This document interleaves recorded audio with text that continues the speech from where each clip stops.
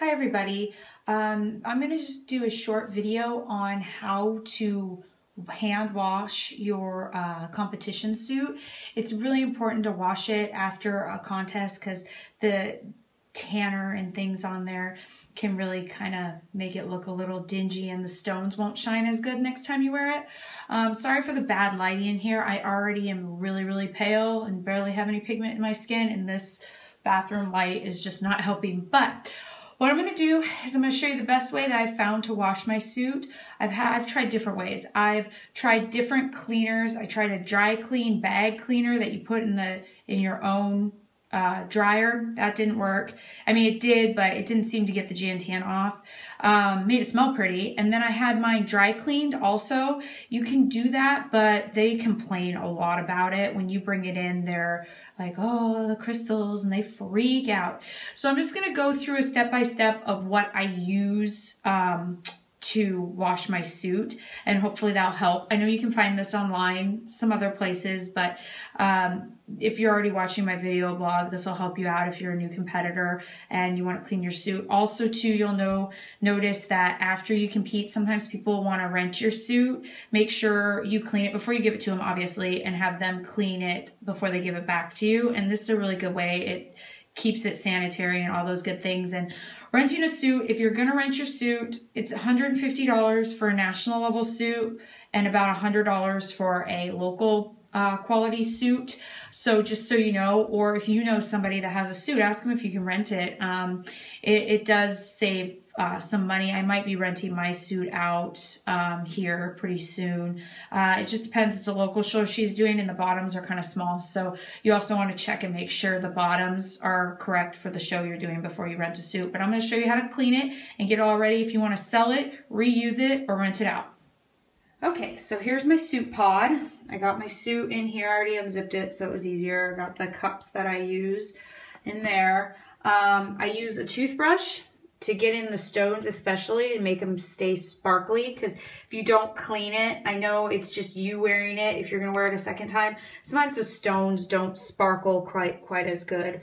I've got um, Woolite here. So the Woolite is what I like to use. I've tried some other cleaners, but this is really, really gentle and it makes it smell good, but not overly, uh, you know, not overly done. So I got that and I got my toothbrush and then I've got a towel here on the bathtub. So that way I can hang it and put a, uh, something down because it's gonna it's gonna drip. So just so you know that ahead of time. Um, also too you're gonna probably want to try and wash these too because as you notice these also get Jan Tana so you can wash those as well. Also make sure to take your buttons off any buttons that you may have on there um because you don't really I keep all mine but you don't really need to wash those um, and then make sure you untie anything around the neck too so you get in all the creases but you see how dirty these get that's just doing one show um, I've noticed that the uh, sunless rays, it turns it a little more brown. As the Jan Tana, this gets a little bit more orange. I'm going to untie these really quick and then I'll get to the next. Okay, so here's my dirty competition suit. Tanner everywhere. This you'll kind of notice the stones start to turn a little like bronzy on the back. That is not tanner.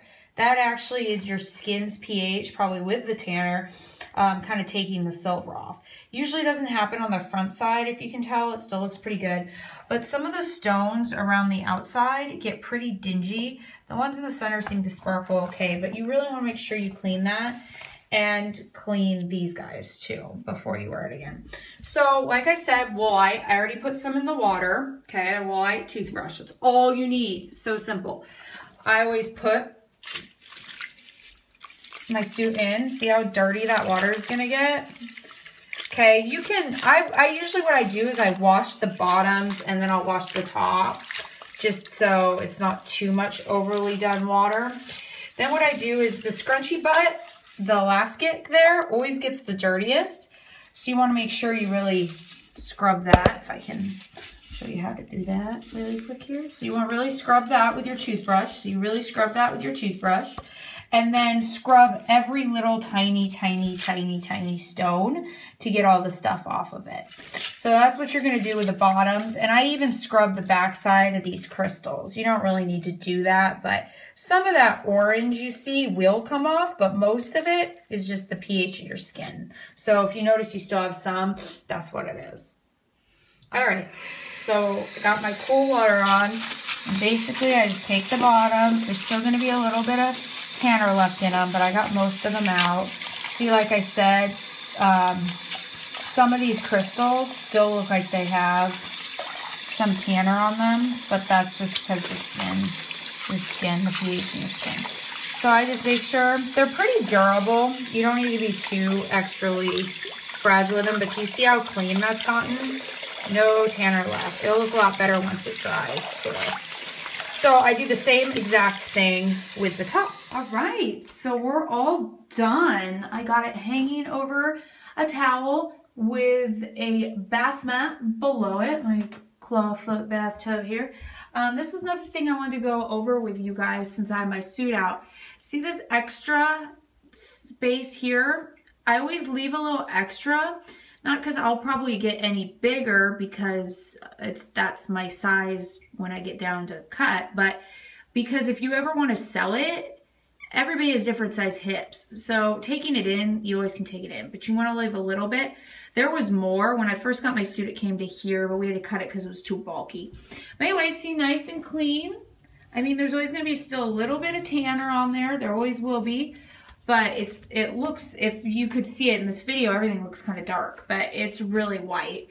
And the inside of here, all white, almost looks brand new. The only reason is the tan, the nude shaper in there is wet, so it looks like that. But it's all nice and clean, so it's ready for me to wear again if I need to, or if I decide I want to sell it or rent it out, it's good to go. If you're ever buying a used suit, you're always going to see this. That's just the skin that has nothing that that's all worn off. The silver's worn off. And that happens usually after first wearing because this is the I've only worn these new extender things one time. So just so you're aware of that, that's nothing wrong with it. But if somebody tries to sell you a suit and it's like tan on the inside, tell them to wash it.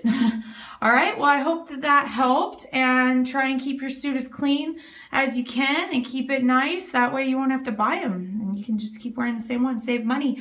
Actually, one of the head judges just said that it's more important to have a suit that fits and keep it rather than trying to buy a new one all the time and it might not be looking good. So when you find one that works, stick with it. She says you don't get marked down if you come in the same suit for years at a, at a competition. She said keep it a nice suit if it works for you, keep wearing it. So probably gonna wear this one one more time, but I'm a girl, so I like to switch things up. So I probably down the road will get another one. This video went a little longer than I thought it would. There was more stuff to show you, um, but good luck on your competitions. And if you're selling suits, good luck selling your suits or just washing it to wear it again. All right, talk to y'all later. Bye.